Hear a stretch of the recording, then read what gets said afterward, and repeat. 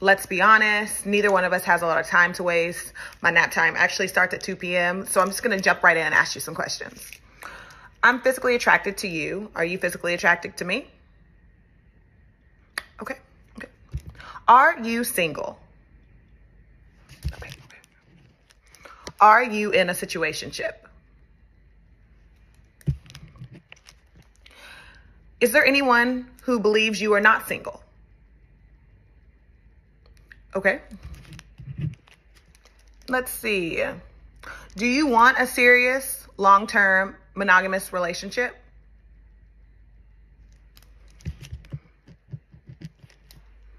Do you want marriage?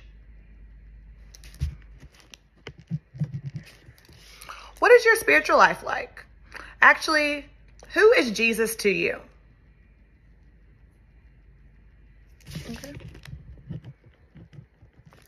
Are you a parent? If so, do you have more than one baby mom or more than one child? Okay. Have you healed from your past relationships and or childhood trauma?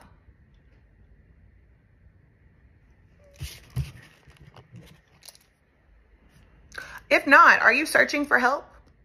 Do you have a therapist that you see often? Do you believe in entertaining multiple women as a source of attention or to stroke your own ego? Okay. Do you have a legal form of income? Do you have your own transportation? Do you have your own residence? Okay, okay. Thanks for telling me.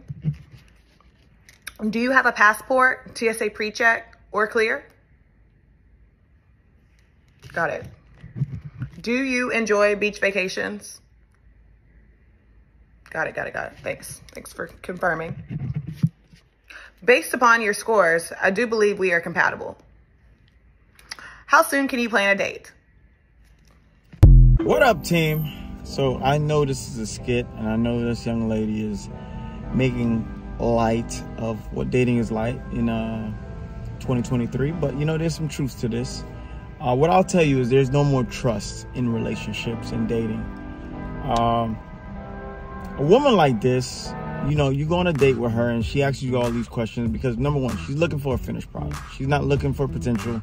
She's looking for you to be the finished product, the perfect man for her.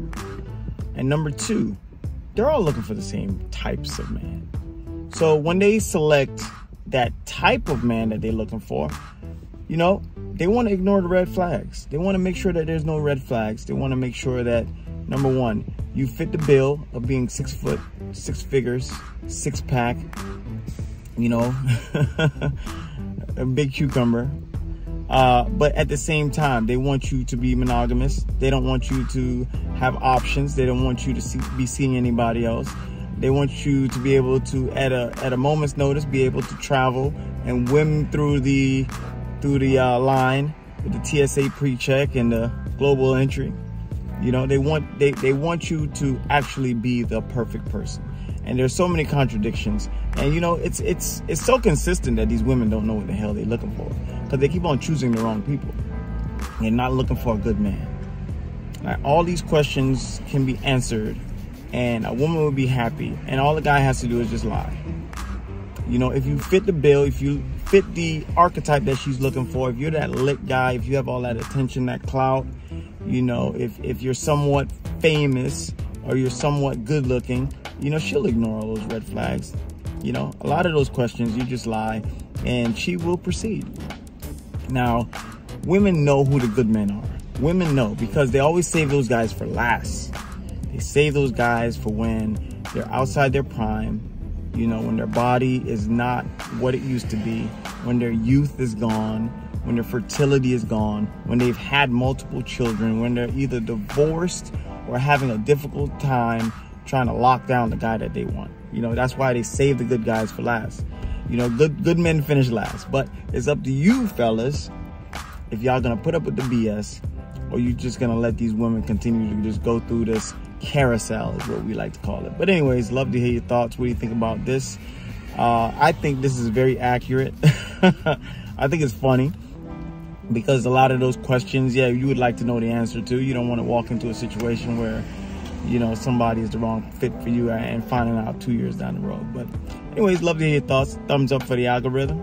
Leave it in the comments. See you guys in the next one. Peace.